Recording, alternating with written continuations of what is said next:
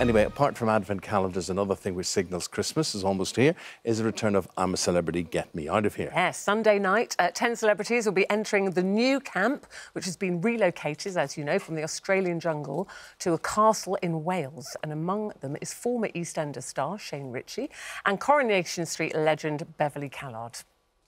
We're now joined by two people who know them very, very well Shane's son, Shane Nolan, that's not two people. That's Shane's son. Is called Shane. No, look, wait a minute. Before, before we speak to Charlie Lawson as well, Shane, there is this thing, isn't there, my friend? There's a lot of people kicking off on social media. What is your name? Are you Shane Nolan? Are you Shane Richie? Are you Shane Junior? What What is it today? Listen, Eamonn. Uh, do you know what? If Mo Farah wins, I'm going to be Shane Mo Farah Junior. I just make up as I go. Uh, but then no pressure, of course. You've got uh, Mum has already won it. And dad is in there, like, no pressure. But she won Big Brother. If it's not my mum, it's my dad. If it's not my dad, it's my auntie. Honestly, I turn around and someone's going into some reality show. It's madness. It's madness. And Charlie, um, Beverley Callard, um, obviously you worked with her for many, many years. When did she, did she tell you she was going in? How did you find out? See it in the paper? Have you spoken to her much? Yeah, I, I, somebody told me on social media that she was very poorly a couple of months ago. So I rang her up and I said, apparently you're nearly dead. Anyway, but she said no, she was fine and she was hoping to go into the jungle, and uh, but it was going to be largely down to um, you know her specialist or whatever because as you know like she'd had some terrible problems with her hip uh, post surgery and all that but i mean you could make a whole program about that. So yeah it was a couple of months ago but she's loads better now. And then um, i heard the other day she was definitely going in. So uh, fair play to her. So charles was it a, a hip replacement she had? She went no it, well it ended up being that but she went in for for something fairly trivial and um, for legal reasons, I can't really go any further, in, as you understand. All right. Yes. But uh, it ended up being um, not what it turned out to be, and things went wrong. And the poor wee lamb ended up, you know, in a, in a serious way. And um, but she's a tough cookie, and she's bounced back. And, um, listen, I wouldn't be, uh, you know, I, I have been asked to be in the damn thing a couple of times, but I'm not really familiar with what they're going to be doing in Welsh Wales. But I can guess. I don't think it's going to be that pleasant, is it, Shane? Uh, when did you know? When did Dad tell you? He told me, I think it was uh, the day before it was going to break in the press. So he kept it. it uh, I've been asking him and ringing him, going, "So, Dad, what are you doing for work?" Do you know what I mean? I, was, I didn't know what he was up to. And then he dropped this bombshell, and I was gobsmacked, genuinely, genuinely gobsmacked. Well, he's Bookie's favourite. He's Bookie's favourite at the moment. Yeah, I know. i am gonna. I think I might lump on a bit later when he goes to like six or seven to one. He's a bit short at the minute. so what? What will we see? I mean, we know your dad very well. Um, he, you know, he he'll be a joker as well. What, what side of him do you think we'll see that people don't know about? Well, yeah, you don't get to see him when he's hungry, oh. tired. It's going to be cold this year. Uh, he did a show not long ago, uh, 71 degrees north or something like in the Arctic, and he was freezing. So I think he's he's a lot more prepared for the cold. Oh. Friday the 13th. Friday there I go again. 13th. If we need any other proof. Charlie, you're on your own now. Um, I don't bother. That'll teach him to do it in a second-hand clothes shop. Charlie, um, do you know what I think they're missing there? I think they're missing you. Would you ever consider going in? I was asked twice, Eamonn, but uh, Butch, hey, I was asked twice um, years ago, and um, uh, I, I said no because I was a, a bit sort of po-faced about it. You know, I, I regard myself as a, a, as an actor, not a, a, celebrity, and maybe that's me being a bit uh, whatever. But um, then I was told, advised by people um, that the trouble was that I'd probably lose my temper with somebody who, uh, you know, I can't be doing with people who start funny. That's why we want you in. yeah, actually, it'd been great with you but, and Bev uh, in there together. Who knows? Yeah, but you see, there, sometimes that is the problem, Charlie, that eh, you, you don't get good viewing with a lot of nice people that get on well together. That's why they wanted me to go in and get cross with people who were behaving like Jessies. I think we've got Shane back. Have we got Shane back? There he is.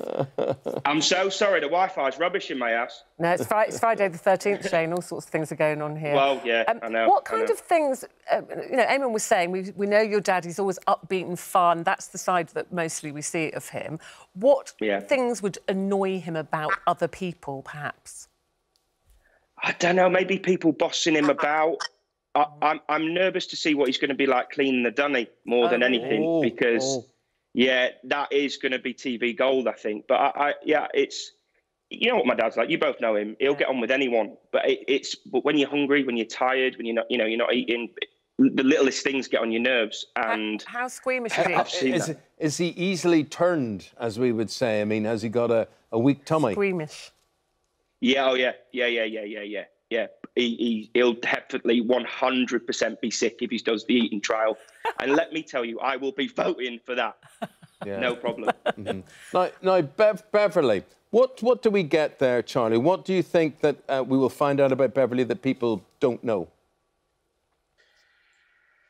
Well, let me tell you something about Bev. If you rub her up the wrong way and um, whatever, she'll she'll um, she'll not only tell you to wind your neck in, she'll probably wind it in for you. she's a very nice girl, so she is, and I love her to pieces. But uh, you know, she's a tough cookie, and um, she doesn't suffer fools gladly. She'll be patient up to a point, but if someone you know winds her up the wrong way, she'll not be backward and coming forward. So she'll not. What, what would her biggest fear be, do you think, Charlie? She got any phobias? Is she claustrophobic or hates heights or critters? Well, I'm not sure how she'll be with the old sheep's nuts. Put it that way, you know what I mean? Uh, not put too fine a point on it, but uh, I, I, because when we worked together, we were never asked to eat um, sheep's. You know what? Um, I, I'm, I'm only guessing, but uh, mind you, some of the food that the props guys gave us could have been worse. Could have been worse. Um, now, am I right in thinking that they've, she's put you down as a phone a friend, which we haven't seen or heard about before? What do you think that's all about? Well, uh, she asked me um, when we had a chat. I don't know whether you're meant to know. Oh, let's carry on, Eamonn. But tell us Ruth. anyway. We, we know now. I'll tell you anyway, because because I like you.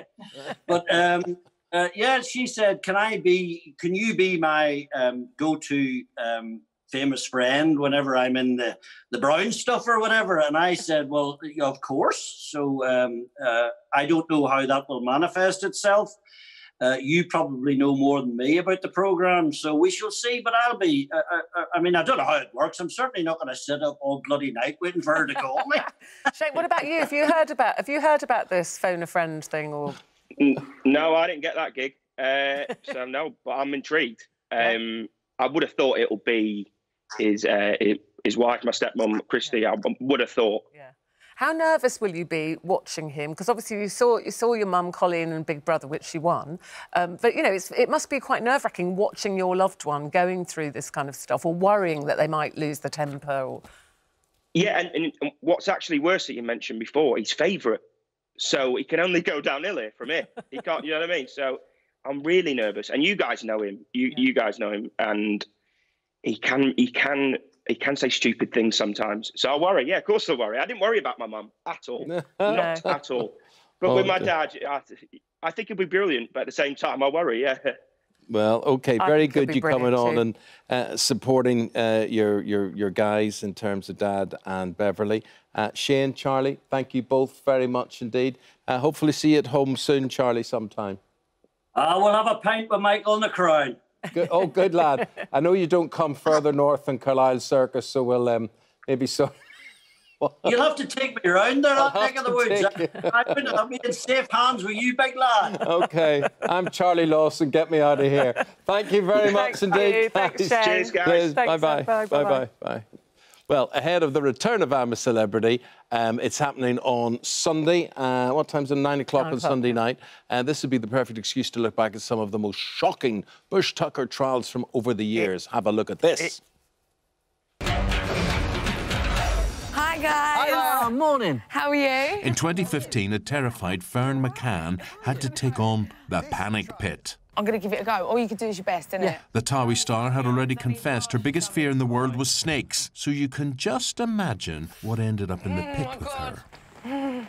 Guys, what is that coming in? And more snakes. It's all snakes, all jungle pythons.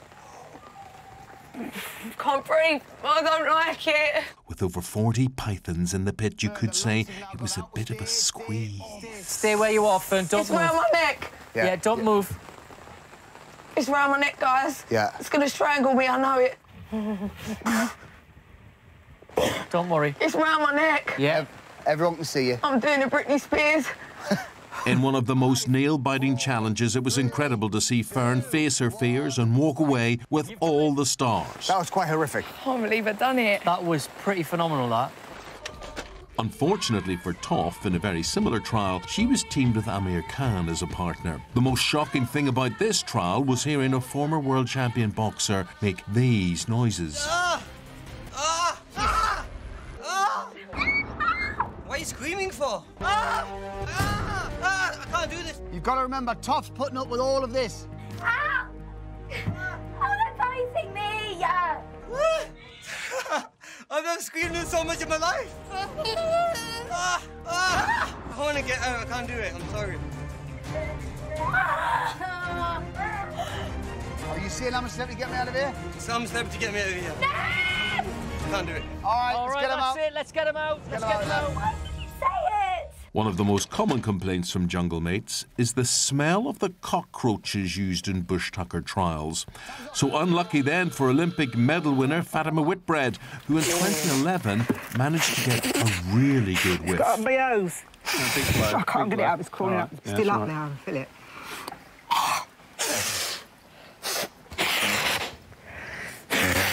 Definitely something wriggling about in there, Bob. Okay, one, two, three, go.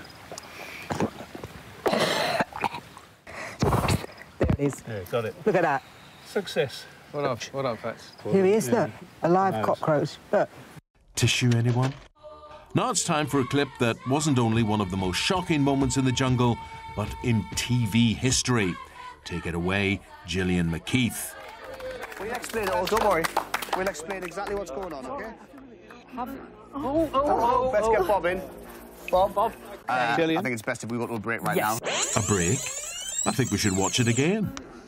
Oh, oh, Let's get Bob. Well done, Dr. Bob, for helping Gillian without laughing and getting her back into camp safe and well. Oh, it's that cockroach up the nose So, one. It's I me think- like that. Ooh, We need the money, right? not I in a think it's your- million years I I'm going it's- in there. But darling, you'd be very entertaining. People would vote you in for every trial. They would laugh at you. I could do the eating. I think I could do the eating trials. Yes. I'm not too terrified of heights, but I'm very claustrophobic, as you know. So the thought of being buried in anything and the lid closing would literally no. You might get a medical exemption from that. I could. That might be fine. Darling, honestly, Are you going to go in? You I would in. vote you and I'd do anything to get you in. I would like to throw you I would the pretend to go in and you would come in behind me and then they'd close the door and keep you there. Just kidding. Anything like that. Honestly, it would be Sunday. such fun television. Yeah, sure, yeah. Do you know, like, it could help you redeem yourself for Strictly. you know? I don't need to redeem myself for Strictly. I Well, did I'm nine just saying. weeks in Strictly, thank you. You could be good at something. You could be good at this. I'm a celebrity. What would you be good at in the jungle? Nothing. Chopping I logs? be- no. I would be the man they would all turn to. I would be there. You want a job done? Get Eamonn to do it. Yeah. That's what it would be. The dunny. I can just see it now.